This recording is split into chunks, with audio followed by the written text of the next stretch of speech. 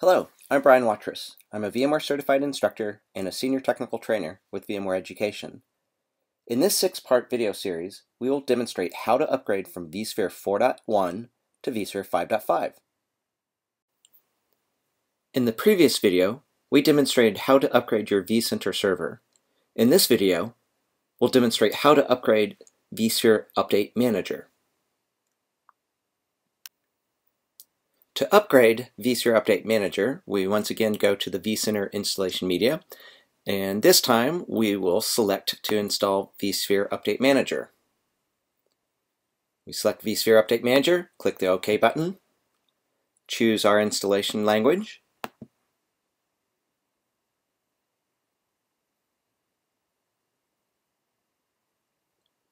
and then we receive a warning message that points out that there already is a version of vSphere Update Manager installed, which comes as no surprise to us since that's what we're here for. We're upgrading to vSphere Update Manager 5.5. So we'll click OK.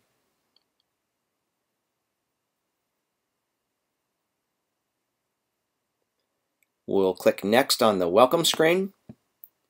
Then after reading the end user license agreement, we'll specify that we accept the terms of the agreement, then click Next.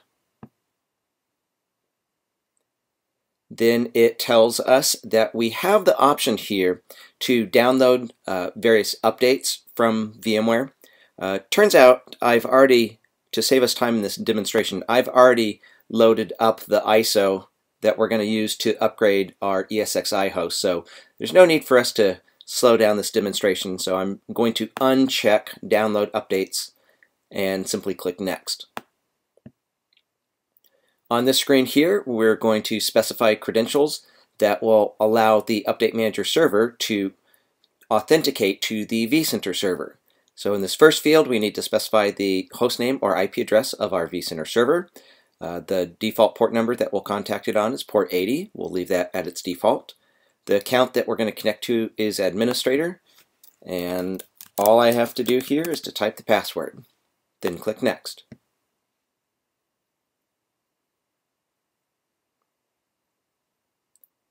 On this screen here, there's nothing that we really need to do because in this particular lab environment, our Update Manager server is an embedded Express database. So no questions answered here. Instead, we'll simply click Next. And on this screen, we can choose whether or not we want to upgrade Update Manager. I do want to upgrade Update Manager. And in order to proceed, I must indicate that I've made a backup of the existing Update Manager database. So I'll select this checkbox, then click Next. Here we can specify how we want Update Manager uh, known to the world. So choosing from the pull-down list, I'll simply go with VC01 because in this particular lab demonstration, my Update Manager server is installed on the same machine as the vCenter server itself. The port numbers that you see listed here are necessary for Update Manager to work. Uh, once again, as I said in the previous video, you'll want to um, communicate with your firewall administrators that these are the port numbers that you will need for Update Manager to work. And then if you happen to be using internet proxies, uh, you can select this checkbox to, to configure your internet proxy. In this lab environment where we're performing this demonstration, we don't have a proxy server set up, so we'll simply click Next. Then on the Ready to Install screen, I'll click Install. And you'll notice that we receive a message that points out that in order to perform this installation, a reboot is going to be required. So uh, again, this is a portion of the process where in, in upgrading from vSphere 4.1 to 5.5 where you're going to need to have some scheduled downtime. So I'll allow the installation to continue onwards. Same message again. I'll acknowledge that a reboot is going to be required. And we'll let the installation roll here. This is going to uh, take a little bit of time. It's not too much time, but to save your time, we'll fast forward the video. And we have completed the installation of vSphere Update Manager. So we'll click Finish. Now that we have upgraded Update Manager, the next thing that we need to do is to install a plugin into the vSphere client for Update Manager. But before we can do that, we actually need to install a new version of the vSphere client. Uh, the reason why we need the new vSphere client is because we installed the newer version of vCenter Server. So let's install the vSphere client. We'll select vSphere client and click the install button. Now it's going to take a few moments to extract the software to save you time. We'll speed this up.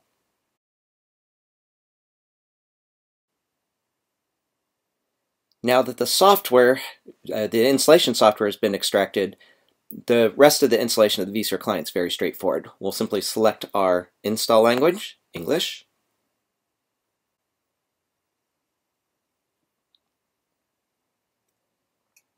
and then we'll click Next at the Welcome screen.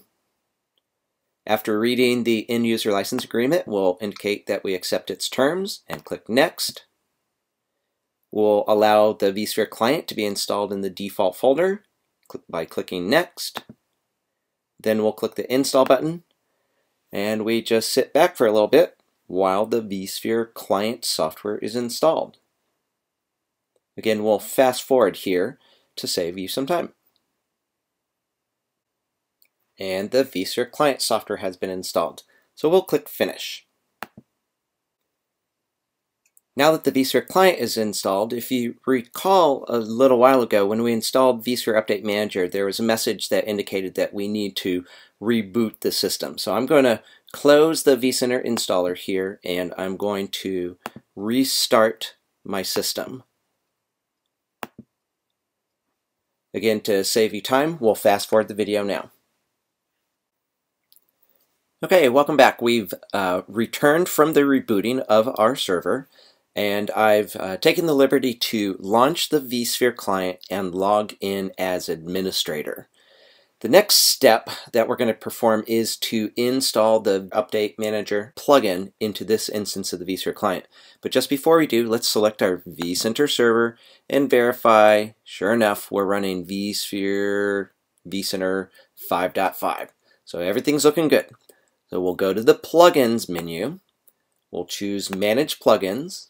And notice that the vSphere Update Manager plugin is available for install. We'll simply click on the download and install link. So the installer is downloaded. We'll go ahead and run it. We'll pick our installation language.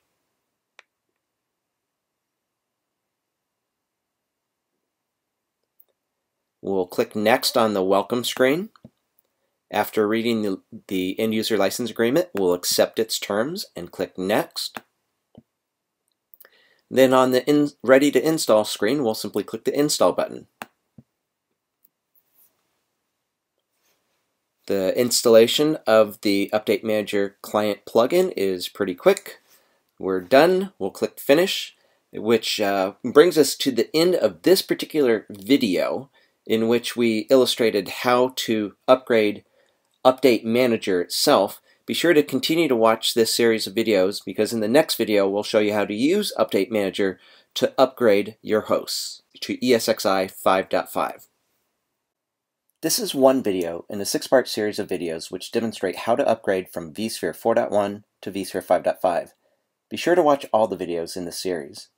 And visit the vSphere product page at vmware.com for valuable resources such as technical white papers, technical documentation, customer case studies, communities of interest, as well as other video demonstrations. The following offerings are available from VMware Education for vSphere.